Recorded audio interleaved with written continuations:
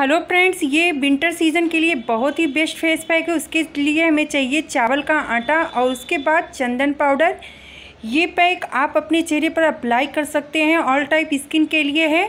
और इस पैक को आप विंटर सीज़न में यूज़ कीजिएगा। बहुत ही अच्छा इफ़ेक्ट मिलेगा। उसके बाद मैं एलोवेरा इसमें ये ऐड करूँगी एलोवेरा जो है, आपकी स्किन को सॉफ्ट बनाएगा और साथ ही डार्क स्पॉट को ख़त्म करने में काफ़ी हेल्प करेगा। और इसे बनाएँगे हम रोज़ वाटर में। रोज़ वाटर आपकी स्किन को डीपली क्लिंजर का काम करेगा और स्किन को हाइड्रेट करेगा और इसमें मिल्क ऐड करेंगे।